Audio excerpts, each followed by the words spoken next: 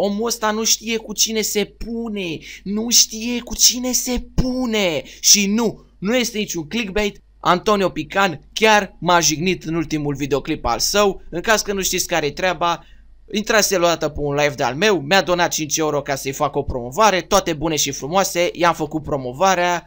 În ziua următoare face video cu reacția mea și a mai multor oameni cărora le-a donat. M-am uitat la video, eram și o live atunci și am reacționat în direct la acel videoclip. Toate bune și frumoase, mi-a plăcut ce mișto a editat acolo, când dintr-o dată îndrăjnește să spună despre mine. Eu văd că nu prea ai stație de destul de bună materială. Eu văd că nu prea ai stație de destul de bună materială. Eu văd că nu prea ai stație de destul de bună materială. You will uh, rest in